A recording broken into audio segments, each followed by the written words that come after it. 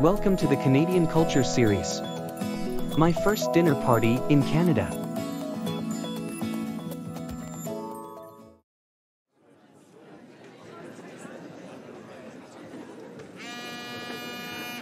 Yichen, it's a call from our homestay. Hello? Hi, Meera. This is Mrs. Smith. How are you? So good to hear from you, Mrs. Smith. I'm well, thank you. Yichen and I are having brunch. We should start a video call. That's wonderful. Actually, I'm throwing a Thanksgiving party next weekend and I would love to have you and Yichen over for dinner. That sounds like a lovely time. Thank you so much, Mrs. Smith.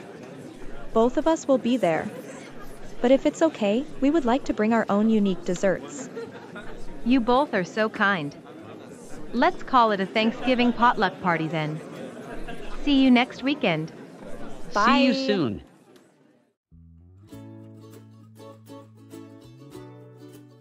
Welcome Meera and Yichen. I'd like you to meet my husband Mr. Smith and my nephew Frank, who's a chef in downtown Toronto.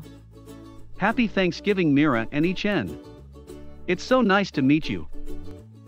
Thank you everyone for joining us today for Thanksgiving dinner. And thank you both so much for bringing in these delicacies for the potluck party today. Meera, your burfies look delicious. Yichen, you do surprise me with your culinary skills. The mooncakes look perfect.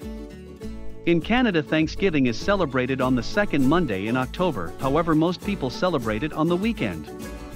Working at the restaurant has been so busy, and this is definitely a wonderful break from cooking. I get to enjoy all these delicious foods. The turkey and stuffing look scrumptious.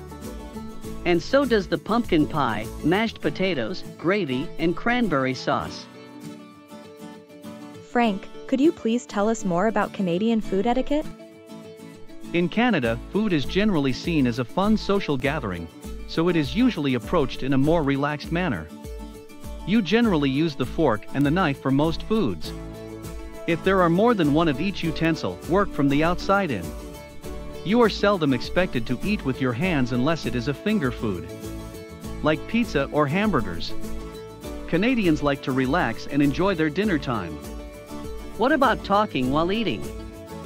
Conversations around the table are fine. However, eating with an open mouth or talking with a full mouth is considered rude. In Canada, meals are typically served in courses, right? Yes. It's common to have two courses, either an appetizer or salad and main dish, or a main dish and a dessert. It is appropriate to eat everything served at a meal, and your host will be pleased if you enjoy it. Finishing everything on my plate should not be a problem at all.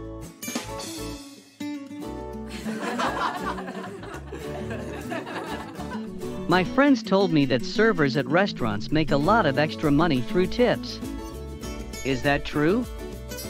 Well, in Canada, tipping usually falls between 15 to 25%. In Toronto, 18% is most common for basic service, but for good service, anything around 20% is ideal. Remember to look if there is a service charge included. That means the tip is already included in the bill. Frank, since you're a chef at a restaurant, you are lucky to be enjoying good food all the time. What's your favorite Canadian food? That's a great question. My favorite is tourtière. A French Canadian meat pie dish originating from the province of Quebec, usually made with minced pork, veal, or beef and potatoes. Canada is such a huge country of diverse cultures, landscapes, languages, and histories. The indigenous Canadian cultures, known as First Nations, the three major immigrant groups, English, Scottish, and French, and the subsequent waves of immigration of Asians, South Americans, and Middle Easterners have all influenced the Canadian culinary landscape between the 17th and 20th century. Wow. That's impressive. No wonder we see Chinatown, Little Italy, Greek Town, Koreatown, Little India, and many more ethnic restaurants in Toronto. But Meera, I guess one of my favorite ways to try the variety in Canadian cuisine is through the food festivals that the city offers. Summerlicious, Winterlicious, Toronto Food Fest, Toronto Rib Fest, T&T Waterfront Night Market, Toronto Food Truck Festival, and the list goes on.